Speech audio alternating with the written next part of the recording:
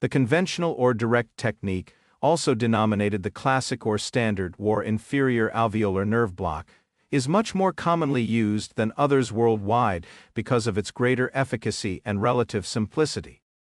It consists of inserting the needle, directed from the lower premolars on the opposite side, into the pterygotemporal depression, and subsequently into the pterygomandibular space, and from there to the sulcus colli in the ramus of the mandible above the lingula, where the anesthetic solution is deposited and where the inferior alveolar nerve lies in a wide open mouth.